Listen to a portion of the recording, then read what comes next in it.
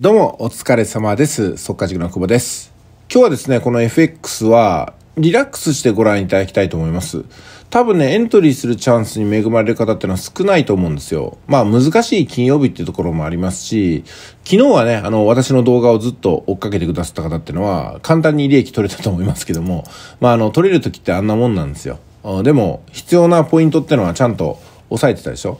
うん、あそこが分かっていれば、あの上昇は取れたと思います。まあ、その後のね、あ急激な下落っていうのはちょっとね、私もね、深夜に起きてることなんで分かりませんでしたけども、現在徐々にまた、あレンジの方向に収まりつつあるんで、テクニカルで解釈できるような、そんなね、20週目、来週からが遅れていくと思います。じゃあ今日の相場解説ですけども、まずはね、冷やしを見ていただくときに、ご覧のようにチャンネルラインに戻ってきたと私は思うんですよね。こういう風にね。だんだんだんだん戻ってきてると思います。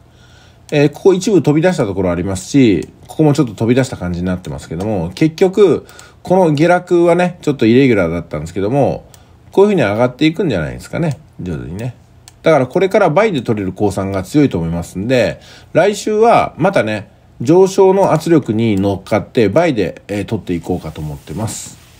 えーただ今直近で出ている今形成中の陽線がこういった形になってます。こういった形はどんな特徴があるかも分かりますよね。分かると思いますもう言いません。じゃあ4時間の方行きます。はい。4時間の方ですけども、横ばいに若干上昇傾向があるけれども、飛び出した材料があるよねってことですよね。はい。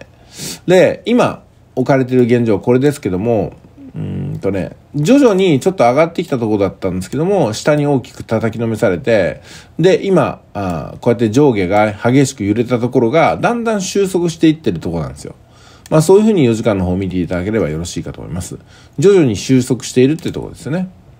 で、その収束の、まず一番大きな枠が、こちらとこちらで、材料で上下に触れたところです。まあこういうふうに横線を実体で引くと、おおよそ上下で1円ぐらいのね、えーマネーラグができていることがわかると思います。これが最初に決めておくレンジオプションです。ここから徐々に上下を絞り込んでいって、えー上下に触れるところをね、例えばわかんないですけども、こういうふうに絞り込めてたとしたら、間隔が狭いんで、ブレイクアウト用のレンジだよねっていうふうな判断ができるってことなんですよ。いずれにしてもポジションを持つのは、今日というよりも、もう来週のためってことになると思います。で、金曜日ですし、今日はね、目立った材料はまあないわけなんですけども、深夜に1個あったかな。うん今日はね、あの、あまり無理をせずに、レンジを特定することに努めた方がいいと思います。まあ言ってみれば月曜日みたいな扱い方になりますかね。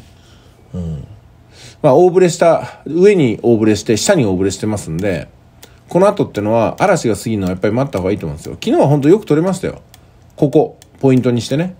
反転して上昇してるんじゃないかなってところで、まさにそうなっていて、ここに、えー、赤三平があったわけでしょで、急速に、こちらの陽線2本で、2時間でこれだけ伸びてるんで取れたわけですよ。で、もっと伸びるかなと思って様子を見ていたら、反対側に行ったんで、慌てて決済して利確っていう風なのね。この辺もリアルタイムでお伝えできてよかったと思います。多くの方が、あの、見、見ていただいた方はね、多くの方っていうのを見ていただいた方は、利益が取れたもしくは利益の取り方が分かったんじゃないかなと思います。じゃあ今日はね、あの、レンジをしっかりと固定していくために観察する、そんな日にしていきましょ